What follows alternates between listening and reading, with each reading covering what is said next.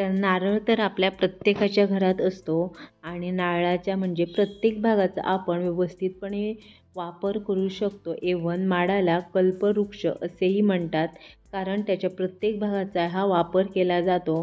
तर त्याच्यामधला हा नारळ तर नारळाच्या करवंट्याचा पण आपण मस्त असा उपयोग करू शकतो.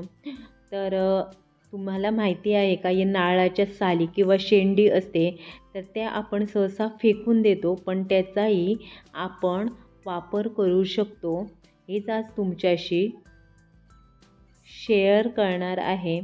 तर हे बघा मी इथं नारळाच्या साली काढून घेतलेल्या आहेत. या नारळाच्या साली शक्यतो आपण काय करतो या फेकून देतो. पण या फेकून न देता आपण याचा मस्त असा वापर करू शकतो. कारण टाकाऊपासून टिकाऊ म्हणजे कुठलीही गोष्ट फेकून देण्याअगोदर तिचा एक वापर नक्कीच करून पाहावा. तसाच आहे हा. तर नमस्कार मी अक्षता अक्षता येते. सर्व काही आपल्या यूट्यूब चॅनलवर मी तुमचं सगळ्यांचं मनापासून स्वागत करते. चॅनलवर जर नवीन असाल तर प्लीज सबस्क्राईब करायला अजिबात विसरू नका. आणि बेल आयकॉनही प्रेस करा. मी मी अपलोड केलेले नवीन नवीन व्हिडिओ तुमच्यापर्यंत नक्कीच पोहोचतील. तर जर तुम्हाला व्हिडिओ आवडत असेल तर प्लीज तुमच्या मित्रपरिवारासोबत पण नक्कीच शेअर करा. तर याच जी साली आहे नारळाच्या तर या सालीपासून आपण एक D I Y hair dryer म्हणजे काय होतं बाजारात अनेक डाय येतात. केसांना लावायची पण काही डाय असतात ती खूपच म्हणजे केमिकलयुक्त असतात.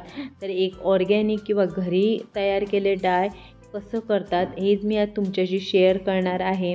तर सर्वप्रथम आधी आपण जी नारळाच्या सा साली घेतलेल्या आहेत त्या साली अगोदर आपण गरम करून घ्यायच्या आहेत. तर त्याच्यासाठी हा मी एक पॅन ठेवलेला आहे आणि या साली आहेत त्या मी आता यामध्ये घालून घेणार आहे.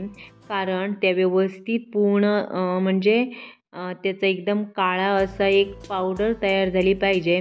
तर तुम्ही हाय फ्लेमवर या साली व्यवस्थित करपून भाजून घ्यायचे आहेत आपल्याला. म्हणजे कसं त्याचं व्यवस्थित एक स्ट्रेक्चर येईल आणि एक मस्त अशी पावडर तयार होईल. बाजारामधल्या त्या महागड्या डिया डायपेक्षा ही अत्यंत स्वस्त आणि मस्त अशी एक डाय तयार होईल. तर हे बघा तुम्ही इथं बघू शकता. थोडासा धूर कसा येतो पण आपले जी नारळाच्या साली आहे त्या व्यवस्थित इथं म्हणजे त्याची पावडर व्हायला तयार होते किंवा व्यवस्थित भाजता त्या इथं. बघू शकता तुम्ही. आता एक दहा ते पंधरा मिनटं लागतात या प्रोसेसला पूर्ण भाजेपर्यंत. तर हे बघा पूर्ण अशा भाजलेल्या आहेत. थोडीशी अजून बाकी आहेत. कारण आपल्याला ते पूर्ण एकदम भाजून घ्यायचं आहे. म्हणजे कशी आपल्याला त्याची पावडर तयार करायची आहे पूर्णपणे. तर अशा प्रकारे तुम्ही एक दोनदा हलवून हलवून ते भाजून घ्यायचं आहे. अशा प्रकारे त्या जी शेंडी असते ती पूर्ण अशी मोडून घ्यायची आहे. म्हणजे कशी आतमध्ये पूर्णपणे ती भाजली जाईल. तर अशा प्रकारे आपण व्यवस्थित ती भाजून घ्यायची आहे. बाजारात मिळणाऱ्या केमिकलयुक्त डायपेक्षा हा डाय खरंच खूप म्हणजे असा चांगला आहे. आणि काही जणांना तर त्या बाजारात मिळणाऱ्या केमिकलयुक्त डायची खूप ॲलर्जी वगैरे असते. तर त्यापेक्षा हा डाय खरंच खूप छान आहे. तर हे बघा आपले आता पूर्ण भाजून घेतलेले आहेत. आता आपण याला पूर्णपणे थंड करायचं आहे. थंड झाल्यावरच आपण त्याचा हाताने पूर्ण जे टेक्स्चरयुक्त पावडर तयार करून घ्यायची आहे.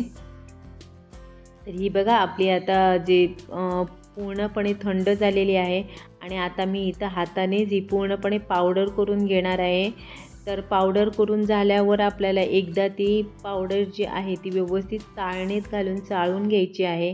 कारण आपल्याला या मस्त असा डाय करायचा आहे आणि त्यामुळे म्हणजे असं टेक्चर आलं पाहिजे कारण आपण तो केसांवर यूज करणार आहोत. तर हे बघा मी इथं आता चाळणीने पूर्णपणे चाळून घेणार आहे. म्हणजे त्यातील जे कण जे असतील ते बाहेर निघतील आणि आपल्याला फक्त पावडर जी आहे ती मिळेल. तर हे बघा व्यवस्थित असं चाळून घ्यायचं आहे थोडंसं हलवून हलवून. आणि जे मोठे कणही असतील तर तेही मोडायला खूप मदत होते. तर हे बघा व्यवस्थित आपले जे कण जे आहे ते मोठं आहे. व्यवस्थित होते. तर काही काही जणांना डायची म्हणजे केमिल केमिकलयुक्त जे बाजारात मिळतं त्या डायची ॲलर्जी असते. तर अशा लोकांसाठी हे एकदम मस्त असं डाय आहे कारण काय होतं त्या डायमुळे कधीकधी तोंड वगैरे सुजण्याचे पण खूप चान्सेस असतात. ते ते टाळण्यासाठी तुम्ही अशा प्रकारे जर केसांवर तुम्ही अप्लाय केलं तर तुम्हाला याचा कोणताच असा साईड इफेक्ट होणार नाही.